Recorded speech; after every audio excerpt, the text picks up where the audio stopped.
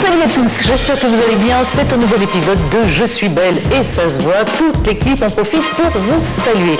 Et puis je vous propose de rester dans cet esprit le moindre effort, mais au maximum de résultats.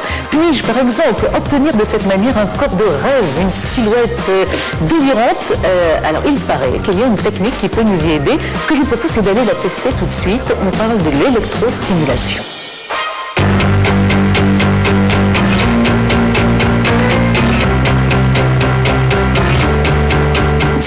En fait qui est connue depuis pas mal de temps, plus de 25 ans, beaucoup dans le domaine médical et sportif, mais qui est accessible au grand public en fait.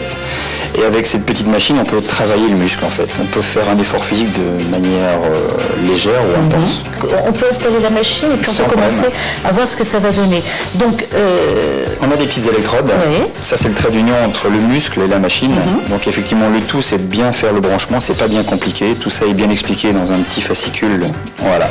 Là, on est prêt pour travailler. Aujourd'hui, on va le faire uniquement sur le bras droit. ouais. sinon la logique, bien sûr, voudrait que je travaille les Toujours deux. en symétrique. euh, c'est mieux hein, si vous voulez avoir euh, deux bras à peu près semblables. Si je veux obtenir un résultat, il va falloir que je le fasse combien de fois euh, Minimum deux fois, trois Ouais. fois serait l'idéal. Et les- des Voilà. séances de combien de temps? Ça dure 25 à 30 minutes maximum. Si vous faites deux séances par, par semaine sur un mois, vous verrez déjà un gros résultat. Il y a plusieurs degrés d'intensité. Là, Exactement. effectivement, je commence à ressentir de petits picotements. Alors, ce qu'on va faire, on va laisser voilà, les bras légèrement sur le côté. Est-ce que c'est vraiment bon pour tout le monde? On peut satisfaire tous les publics avec ça, la personne qui est sédentaire comme la personne qui est Mhm. sportive.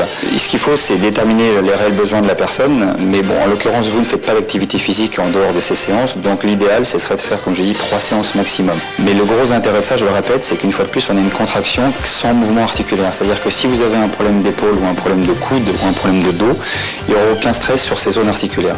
Donc ça, c'est vraiment confortable. Ça peut permettre quelquefois de refaire une remise en route d'une inactivité physique pour passer après dans une activité physique. Euh, Donc pas de contre-indication majeure Les deux, les deux seuls qu'on dirait au départ, c'est une personne qui serait enceinte.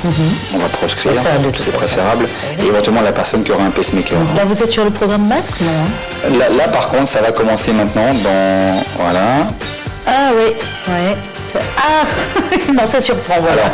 Quand c'est comme ça, C'est juste que ça ce surprend. que je vous propose, on va entrecroiser les mains sur le bas du ventre, on va relâcher le bras et ce sera beaucoup plus supportable. Après, libre à vous d'augmenter. Si vous me posez la question jusqu'où il faut aller, au maximum supportable. D'accord, attends.